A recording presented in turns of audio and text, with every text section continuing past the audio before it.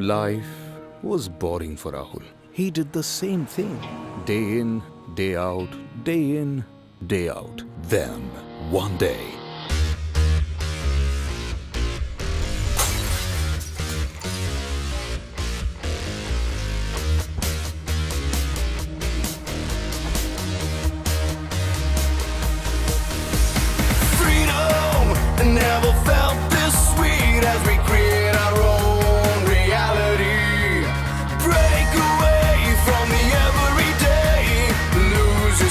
to find your sanity.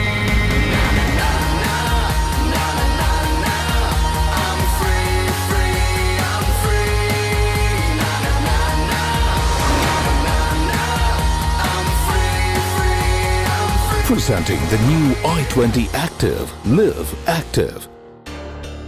Hyundai.